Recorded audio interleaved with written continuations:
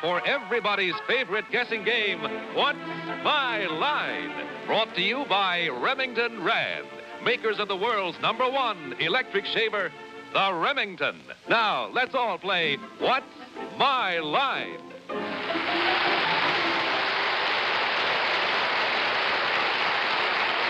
Now let's meet our award-winning What's My Line panel. First, the popular Broadway columnist, Miss Dorothy Kilgallen.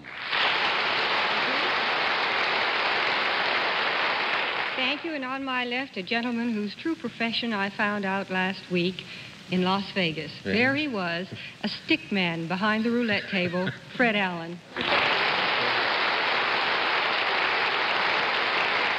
I think the game is up, Dorothy, if you saw me there. And at my left, ladies and gentlemen, a very attractive young lady who told me that she saw an ad in the newspaper today. The ad read, 200 bath towels marked his for sale. Call Rita Hayworth. And here she is from Orleans, France.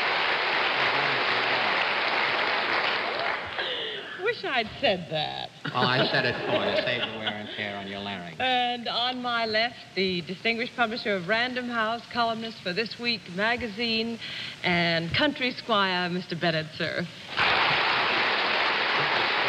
Thank you very much. On my left, a very famous news analyst, and on the side, panel moderator, as you know, John Charles Daly. And constable. Thank you. Good evening, ladies and gentlemen, and welcome to What's My Line. And panel, if you please, put your blindfolds on. Again? Yes, again, because this is a kind of a special night for most of the folks who are with us on Sunday nights. This is, of course, a holiday weekend, and because it's a holiday weekend where we thought we'd be real big and give you two mystery guests tonight. But basically, you can take our first mystery guest on the basis of occupation, but you must put your blindfolds on, nevertheless, because you would recognize the guest immediately. As you know, once again tonight, we're up to our old tricks with some slight variations because it's a holiday weekend, and we're going to have some very nice people with interesting occupations and big reputations. And when the panel gets the blindfolds on, why, we will get cooking with um, big and large jets of gas on all the burners on the front and back. Mine's on inside out. And it used to be that I could get dressed when I was in prep school in three minutes. Just goes to show you. Are you all set, panel? Just. Good, then I would ask our first mystery challenger to come in and sign in, please.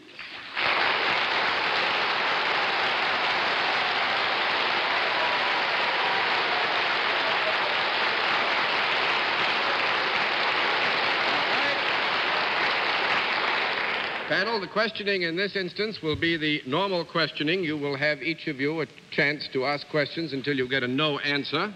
And we'll begin the general questioning with Miss Arlene Francis. Well, judging by the applause, uh, have you a face that the public is very familiar with? I don't think so. Well, I would say this. I think our guest is happily modest because our guest is modest, but uh, this is a face with which the public would be quite familiar. Yes, Miss Arlene. Launched a thousand ships. Well, he Are hasn't launched you- a thousand ships, but you're in an area that's interesting. Go on from there. the shipping area. Are you, uh, are you a celebrity in the theatrical world? No. One down and nine to go, Mr. Cerf. Would you would your fame be more exploited in the sports pages and the theatrical pages? No. Two down and eight to go, Miss Kilgallen. Are you in any way connected with any government? Yes. Is it the government of the United States of America? Yes. Do you work for any branch of the armed forces? No. Three down and seven to go, Mr. Allen. Do you work in the executive branch of the government? Yes. Are you, uh, do you do your work in Washington? Partly, yes. Just partly in Washington? Yes. Do you, uh, you're not Mr. Dulles, naturally. he wouldn't have been here that long. I, uh, do you, uh, you're not in the armed forces. Uh, could we have a conference because I don't know anything about the government except to pay taxes? You may have 15 seconds for a conference. But I, uh, Might be UN. huh? Might be UN. Are you affiliated with the UN? No. Four down Thank you, and six to Bennett. go, Miss Bradford. Are you elected to office? No. Five down and five to go, Mr. Cerf. Uh, you're app- are you appointed to the post that you now have? Yes. Are you appointed by the President of the United States? Yes. Uh, are you any part of his uh, cabinet or the immediate advisors of the President? Yes. Are you a member of the cabinet? Yes. Well, to do, Bennett? Have you got anything to do with the Treasury Department? No. Six down and four to go, Miss Kilgallen. are you the Secretary of Agriculture? No. Seven down and three to go, Mr. Allen. You're inside. Are you the Secretary of the Interior? No. Eight down and two to go, Miss Francis. Well, I'm not going to ask about the Secretary of the Exterior. That's out of the question. He's out already. Are you uh, Secretary of the Army? No. Nine down and one to go, Mr. Cerf. Well, uh, are you the Secretary of the Navy then? No. Ten down and no more to go. And now, panel all together. what the day? President, I know. What what uh, holiday weekend is this? Labor. And what secretary do we have with us? Labor. That's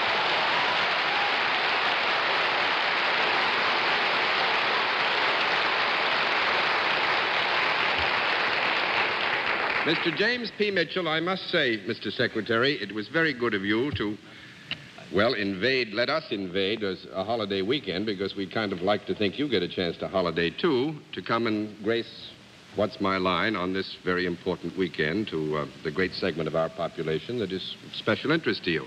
I might say that if you haven't seen your papers, the Secretary I know had a pleasant chore today. He announced that in the month of August, 65 and a half million Americans were gainfully employed. I think that's the highest number in, in history, In any month, in any year. Well, and besides that, Mr. Mitchell is um, on the board of directors of the Red Cross, and I think I read in the paper that they exceeded the flood drive. Yes. Uh, I am very happy about that. Uh, the, Ameri- the Red Cross objective was $10 million, as you know. And uh, as of yesterday, they, we had uh, close to $11 million, and the money is still coming in. And I think it's very appropriate on Labor Day to congratulate the working men and women of America for having so wonderfully subscribed to the flood relief drive of the Red Cross. It's the first time in history, I'm told by the Red Cross, that such an oversubscription has taken place. You are to be congratulated. Well,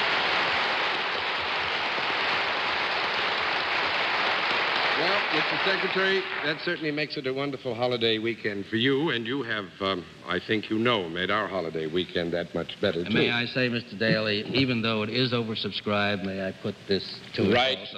uh, right, it will. And would you say good night to the panel? It's wonderful to have you on.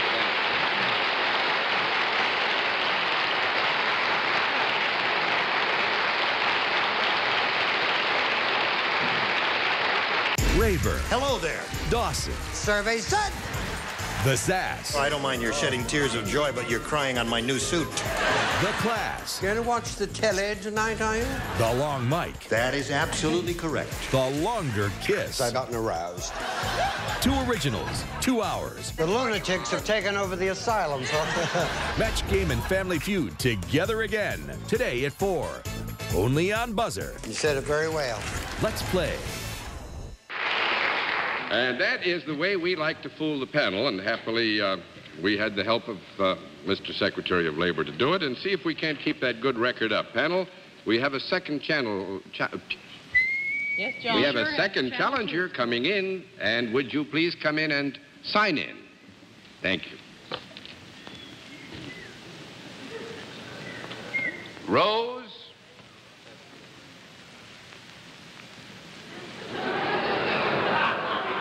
And it's red.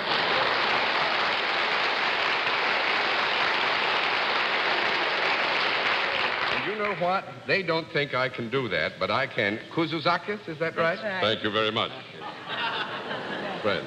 And where is it Miss or Mrs.? Miss Miss Kuzuzakis, and where are you from? Athens, Greece. From Athens, Greece. Well, that's wonderful. It's nice to have you with us. Thank it's you. our practice to let the panel have a small opportunity to get to know our guests a little bit. So would you take a walk down there so that they can see you, please? Oh, what is it, Kuzapopoulos? No, Kuzakis. For you, she'll marry a man named Smith. All right, Miss Kuzuzakis, if you'll come over here, please, and sit down next to me.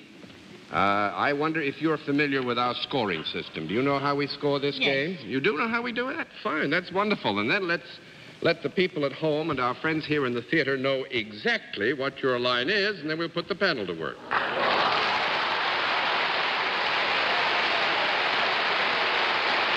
All right. I will just announce, panel, that Miss Kuzuzakis is self-employed, and let's begin the general questioning uh, with um, Fred Allen. Uh, may, uh, Miss, may I call you Rose? Please. Uh, before I start, may, uh, John, do you mind if I ask Miss uh, Kuzasakis a question? Before I start. Mr. Allen, you mean a question which is not necessarily germane That's to true. what it is you seek to find? I or- just want to ask her, whatever became of Parkyakarkus? no joke, then. I Miss. Rose doesn't know, Fred. I, uh, well, when Greek meets Greek, she'll know who he is. To tell me, uh, Miss uh, Rose, uh, is there a product involved in what you do? Yes. Is this product uh, something that would be used in this country as well as in Greece? Yes. It would.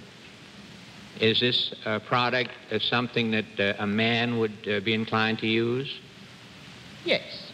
Man would use it. Uh, if uh, the man used it, would it uh, be apt to change his appearance in any way? Yes. No, wait a minute. We're going to have a cut.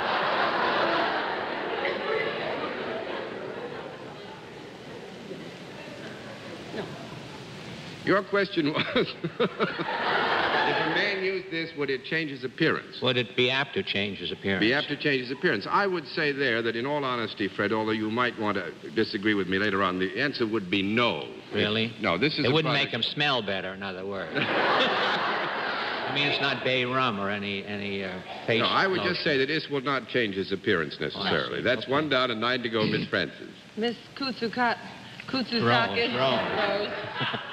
Kutsusakis. I want to say it properly. Kuzutsakis. Husus. Kutsusakis. Wow.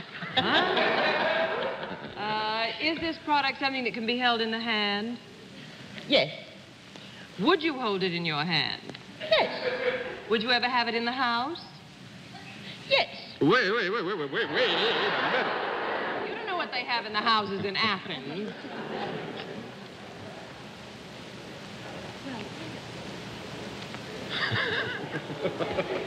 Some I would say this.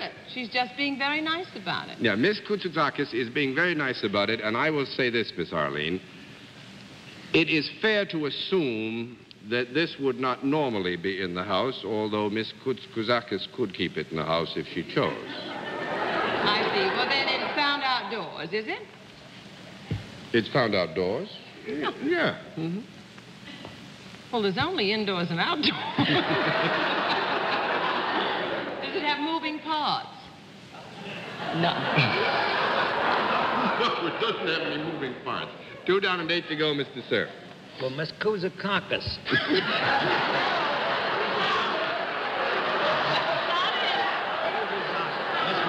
So please, Miss Rose, may I apologize for all of us. This is, a, I think you understand, a difficult name for us to pronounce, but we think it's a wonderful name. It's just we're having trouble with it. That's all. Miss Rose, has, has this product ever been alive?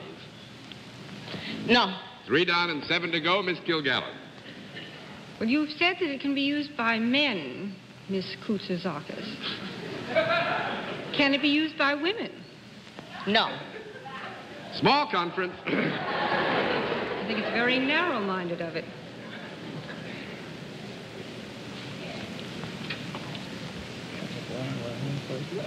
No. There's a lady in the audience who thinks it can be used by women. I would say this, um, with Miss Rose's permission. I don't think we can rule out the possibility that women could use it. So you go ahead and um, follow with that bit of information. Uh, is it used by men in any particular profession more often than just general men? And I apologize for that sentence.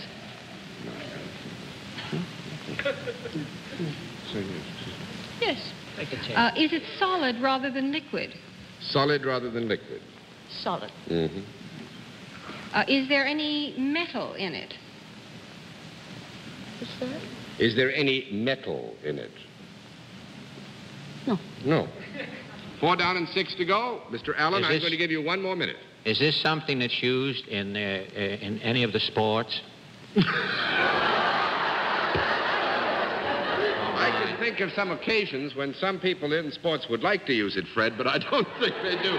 That's five down and five to go, Miss Francis. Is there anything at all dangerous about this product? Yes? Yes. Could it blow up anything or harm anything?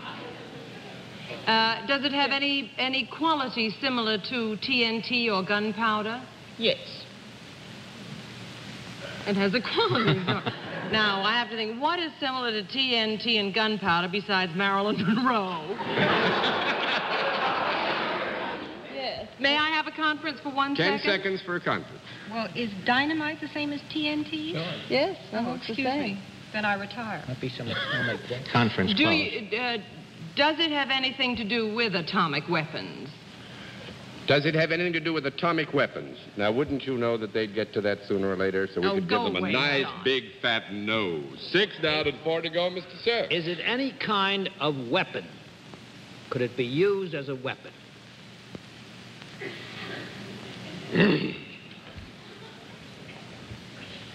Oh, Hmm. I don't think we would describe this. Yeah, I guess we. I think, well, there you are. I would say this while it might be hard to specifically describe this as a weapon, you might consider using it in the same manner as you might use a weapon. You mean you might hit somebody with it? Could you use it to hit, to, to, to strike somebody? Strike somebody, that would make it seven down and three to go, Miss Kilgallen. is it anything that we'd see or would ever see anywhere at a festival or the 4th of July? On 4th of July, it would be the big 4th of July if you saw that, wouldn't it? That makes it eight down and two to go, Mr. Allen. I pass. You pass, Miss well, I've got to get back to gunpowder and uh, TNT. Is that in it, in this product that uh, Miss Rose has something to Yes. do with? I, I don't understand where I am. I tell you what, I'll flip it because you had it, but you never said it. It's dynamite. Dynamite. That's oh, thanks, right. loads. And Miss Kuzakus. Dorothy said dynamite. Kuzakus, yeah, but it was in the it, it was in the um, I just said discussion gunpowder and you said dynamite, and we let the whole thing go. But you are dynamite, Miss Rose, anyway. Thank you. and Miss Rose sells dynamite too.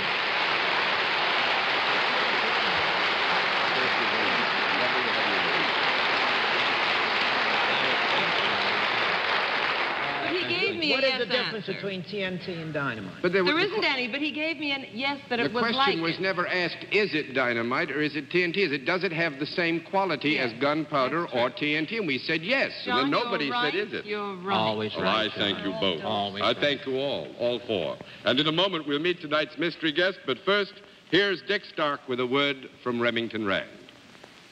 Friends, we uh, look at this rather charming picture of a bowl of peaches and find ourselves inspired to try to create a still life of our own here. The main theme of which is this modern day masterpiece, the Remington Electric Shaver. We'd rather like to think of this arrangement as a peach of a shave. Now, exactly what is a peach of a shave? Well, it's the one shave that's both clean and fast. A combination that only the Remington can give you. And if you'll just watch closely, you'll see exactly what I mean by clean. The Remington shaves so clean it can shave the short, close fuzz off a peach. Now, notice that the guard here has been removed so that you can see the fuzz fall. Believe you me, friends, any shaver that can shave that tiny fuzz off a peach without harming its tender skin is just bound to give you a clean shave. Now, as for fast, well, just watch the Remington go to work on this man's very heavy beard.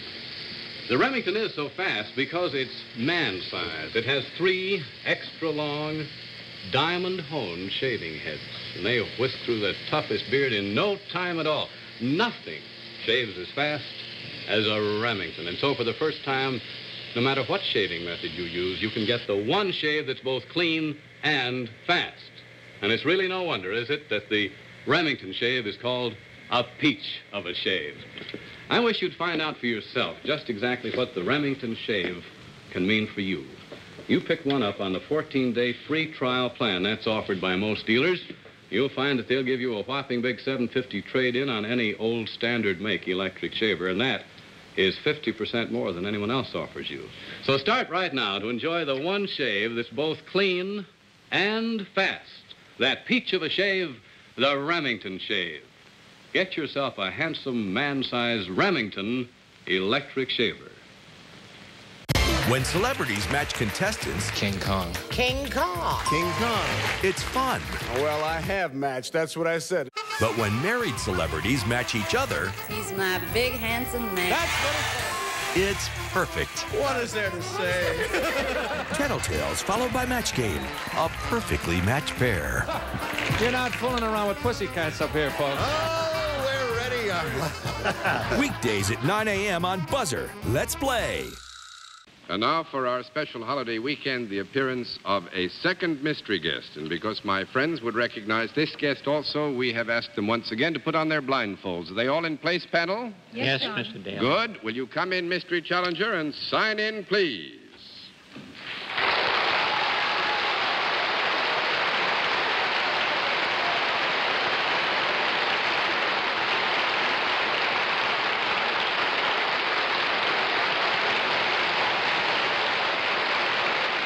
All right. Panel, as in the case of our mystery challenger in this part of the program, we go to the other method of questioning. You will ask one question in turn, moving clockwise. And we'll begin the general questioning with Dorothy Kilgallen. Are you in show business? Are you in show business? Yep. Mr. Allen? Are you in the theater? Yep, partner. Uh, what? Miss Francis? Said, yep, partner. Oh, uh, you're also in pictures? Yes, ma'am. Wow. Mr. Cerf. Yep, partner. That was a fun. Are you by any chance not a native of the United States? Sure enough.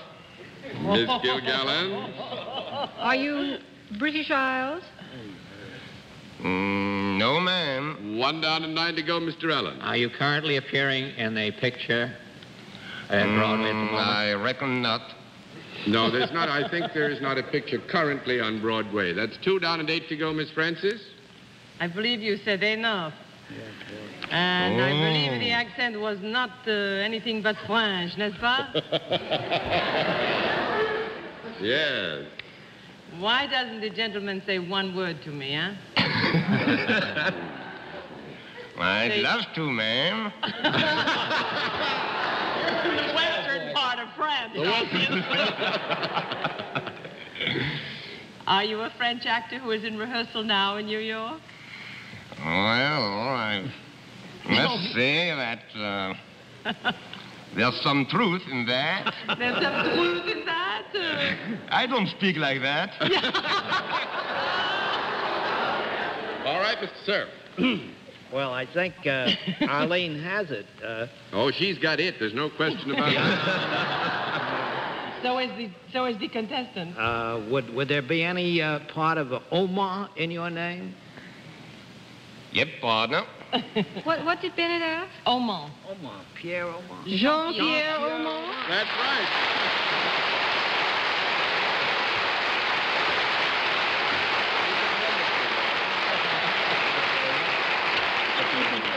That's the best Western accent I've heard in a long time. You got to admit, it was the best Western accent we've had in a long, long time. Terribly. I didn't know whether you call it, whether Pierre is part of the last name. It isn't Pierre Aumont, is it? Is, is that Yes, your last name? Jean-Pierre Aumont. Jean-Pierre is the first name. Yes.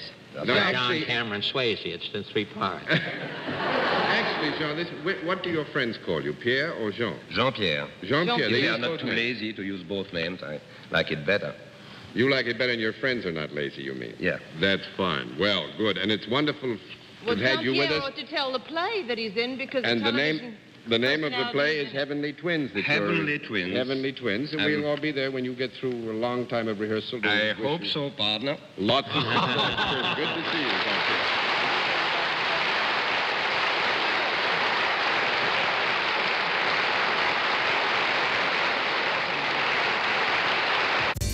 words Organ. that lead to big bucks. Oh, whammies. Super password and press your luck. Big bucks. Big bucks. I thought you said big, well. Tonight, starting at 6 Eastern, 3 Pacific.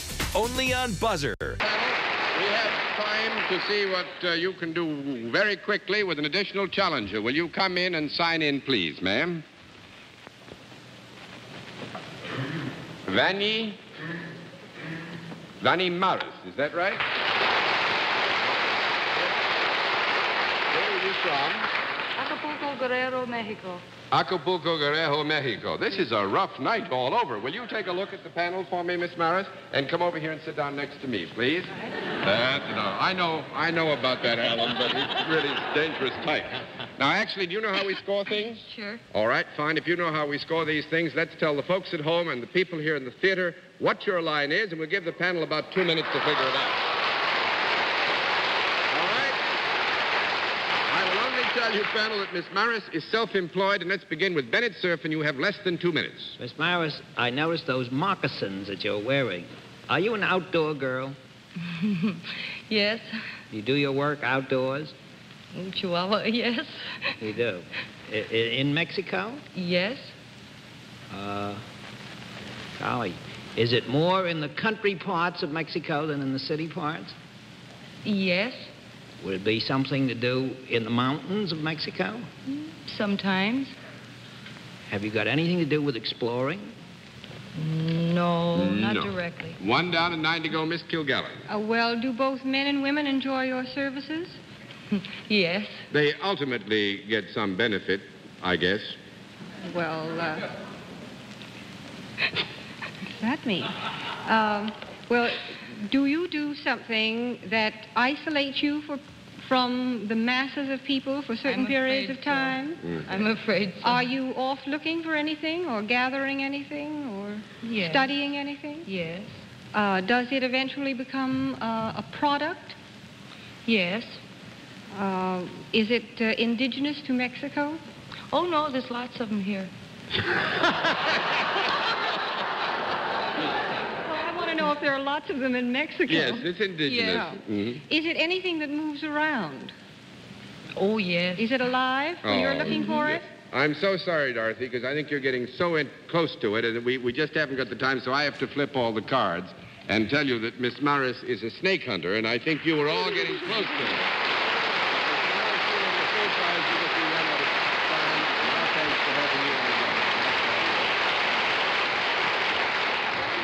We'll be back in just a moment, but first, here is a word from Remington Rand.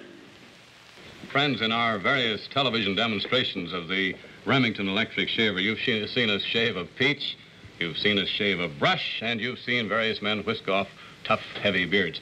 You know something, the most important demonstration of all, it won't take place right here in the studio. It's going to take place in your own home. I want you to try this man-sized Remington electric shaver on your own beard and see what a fast, clean shave you get. Pick one up on the 14-day free trial plan. That's offered by most dealers. Get acquainted with that peach of a shave yourself. You'll learn why Remington has made and sold more than 15 million electric shavers. That's more than any other make. Up next, it's tough to figure out a secret when contestants hide it so easily on I've Got a Secret. Then get ready to match the stars on Match Game. Stay tuned. And now, before our panel says good night, may I remind you to tune in again next Sunday evening at 10:30 p.m. Eastern Daylight Saving Time, when once again we invite you to play "What's My Line." For other localities, check your local listings for the date and time of our weekly series. And now, a word from next week's sponsor.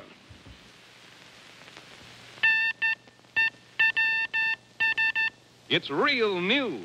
Now you can get Stopette in a brand new form, a cream form, made by the makers of Stopette Lotion Spray Deodorant. So easy to use, it swivels, just like a lipstick. And like the spray, Stopette Cream gives all-day protection. It's a deodorant, it's an antiperspirant, and Stopette Cream soothes, too. Try this new way to smooth away perspiration. Actually, I think there's one thing we should correct. Technically, I don't think TNT and dynamite are the same. They have the same qualities. Now that we've confused things a little further, until next week, this is John Daly saying good night, Miss Dorothy.